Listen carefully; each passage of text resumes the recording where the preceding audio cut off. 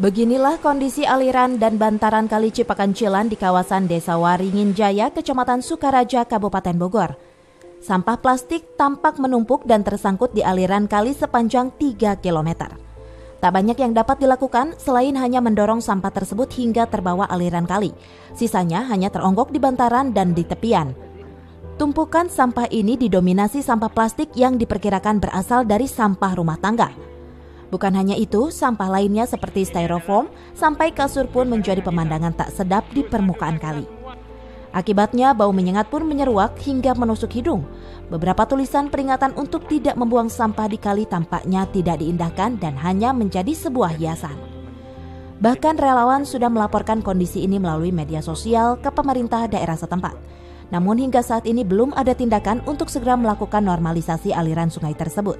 Cuma ada dampak karena itu kan perbatasan.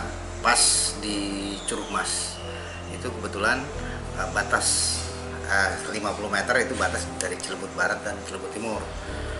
Pada intinya kalau memang warga Waringin ya nggak mungkin ada di situ dong. Gitu. nah saya selaku kepala desa sudah mensosialisasikan terkait dengan sampah dan pembuangan sampah yang uh, sebenarnya itu tidak seperti itu.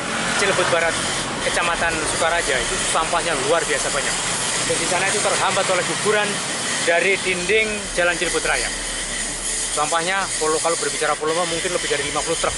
Sepanjang 30 km tidak ada yang bersih dari sampah. Kotor semua. Ini sudah berlangsung berapa lama kondisi sebelumnya?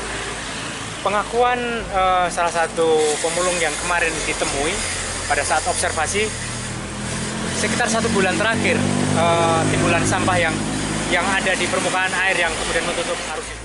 Kali Cipakancilan merupakan anak sungai Cisadane yang melintas mulai dari kota menuju Kalibaru, Kabupaten Bogor. Sejauh ini kali tersebut diketahui banyak dimanfaatkan warga sekitar untuk mengairi sawah dan kebun. Dari Kabupaten Bogor, Herman Bons melaporkan.